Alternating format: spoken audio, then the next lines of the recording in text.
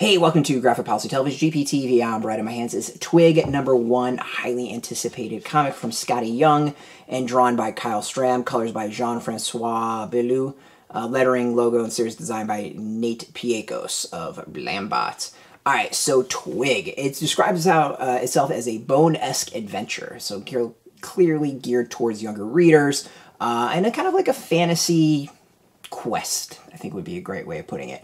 Um, it's it's a solid debut. It's really cute. The art is fantastic. The creatures are cute. You kind of want to hug and squeeze them.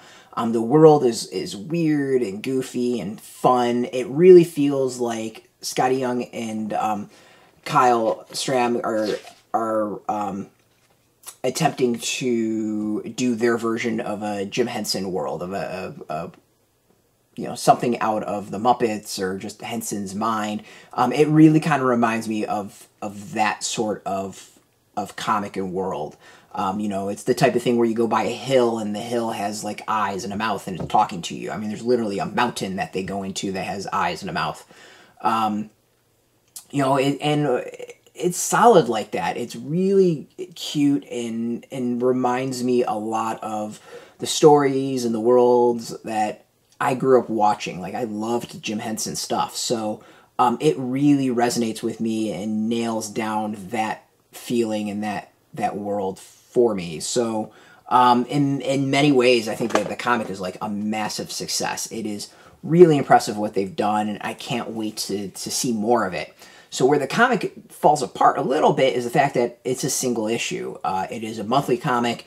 And I think it overall would be so much stronger, so much better if it was done as a graphic novel. Um, one, if it really is geared towards kids, I think that's just kind of the market in general. Uh, but two, the story itself, like it's a great opening. I want to read more, but at the same time, it doesn't quite feel as you know full as as you'd hope it would be. Um, you know, it sets things up really well and it leaves in a good spot for the adventure to begin.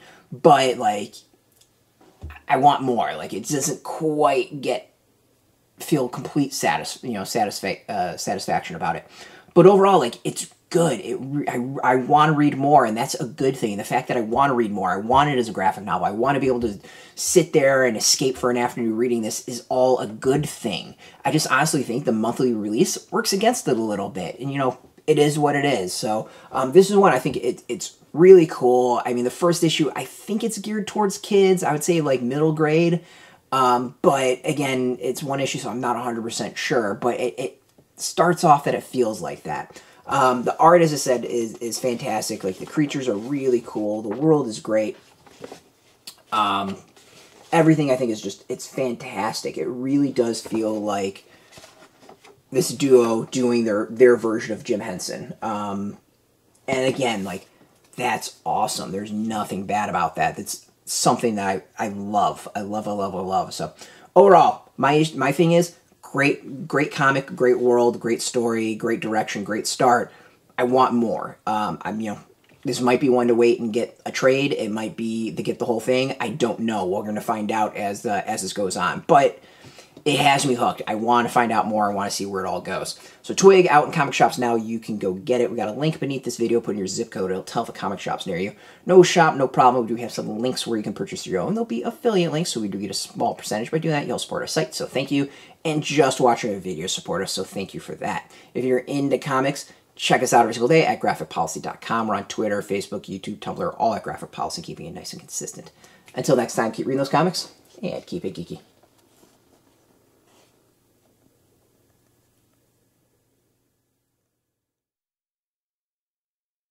Hey, thanks for watching the previous video from Graphic Policy Television. Just by watching, you help support our site. Thank you so much. Now, if you're watching these videos, you probably care about geeky things like movies, television, comic books, toys, games, video games, you name it. You can go and subscribe right now to our YouTube channel to stay in touch and catch all the new videos, or check out our website at graphicpolicy.com. There's a nice link on this end of the video. But as always, thank you for watching. Keep on rocking and keep it geeky.